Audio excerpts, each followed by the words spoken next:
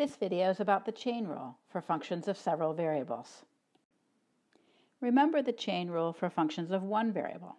If y is a differentiable function of x, and x is itself a differentiable function of the variable t, then we can compute dy dt as dy dx times dx dt.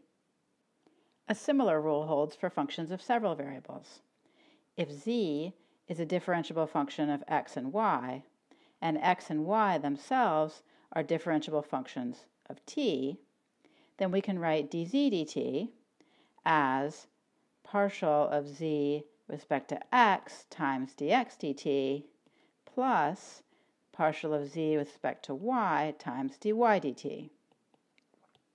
A useful way to remember this formula is to draw a tree of variables.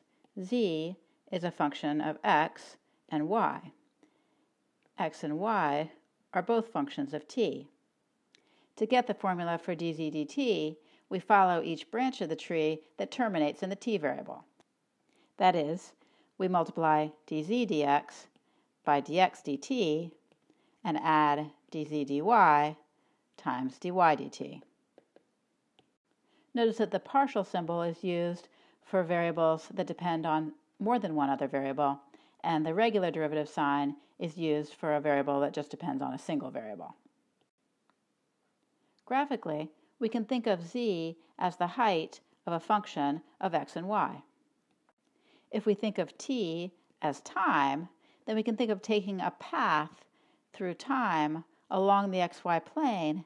dz dt is telling us how the height, our height changes over time. We can give an informal justification of the chain rule using the idea of a differential. Recall that the actual change in height of our function, delta z, is approximately equal to the change in height of the tangent plane, or the differential dz.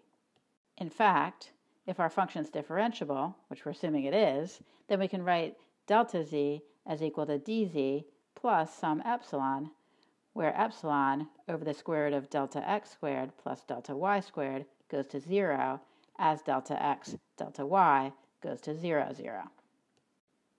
I can rewrite this by expanding out the differential, that's f sub x delta x plus f sub y delta y. Now I'll divide all my terms by delta t, and from calculus 1, I can write dz dt is the limit as delta t goes to 0 of delta z delta t. So that's the limit of the expression above.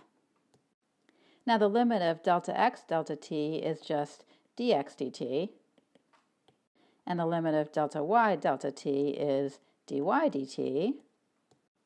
So we're left with having to compute the limit as delta t goes to 0 of epsilon over delta t. Since I know that epsilon over the square root of delta x squared plus delta y squared is going to be heading towards 0, I'm going to multiply the numerator and the denominator of this expression by delta x squared plus delta y squared. I'll rearrange my limit, and now I'll pull the delta t inside the square root sign. As delta t goes to 0, this expression is going to 0 by the assumption that f is differentiable, and this expression is just going to the square root of dx dt squared plus dy dt squared. This is an expression having to do with arc length, but the important thing for us is that it has a finite value. If we have something that's going to 0 times something that's going to a finite value, that's just 0. And therefore, our limit, our dz dt, is just f sub x dx dt plus f sub y dy dt as wanted. Let's use the chain rule in an example. Here, w is a function of three variables, x, y, and z, and x, y, and z are all functions of t. Although we've only seen a chain rule for functions of two variables so far, the same thing works for functions of three variables. If we draw a tree diagram with w as a function of x, y, and z, and each of these variables as functions of t, and we write the derivatives on the branches, then we can just multiply down each branch that ends in t and add up our results. please pause the video and write out the formula for yourself. You should get the following. To complete the problem, we need to calculate some derivatives.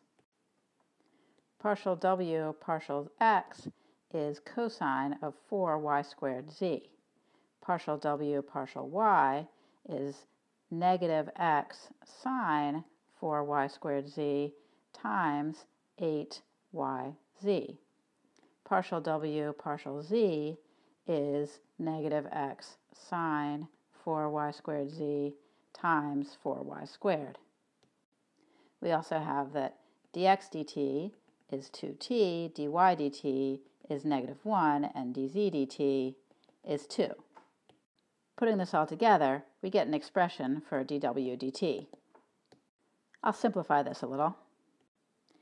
Now I could rewrite this further by plugging in for x, y, and z their expressions in terms of t. Then I'd have an expression for partial w partial t that was entirely in terms of the variable t. This might look a little nicer, but in general, it's not necessary to do this sort of substitution. There's also a version of the chain rule when z is a differentiable function of more than one variable, here x and y, and those variables x and y are themselves differentiable functions of more than one variable, here s and t. Again, I can use a tree diagram to find the formulas. z is a function of x and y, and x and y are both functions of s and t. I'll write the partial derivatives along the branches. Now to find dz ds, I just need to follow the branches of the tree that end in the variable s, here and here. That gives me the formula partial z partial s is partial z partial x times partial x partial s plus partial z partial y partial y partial s.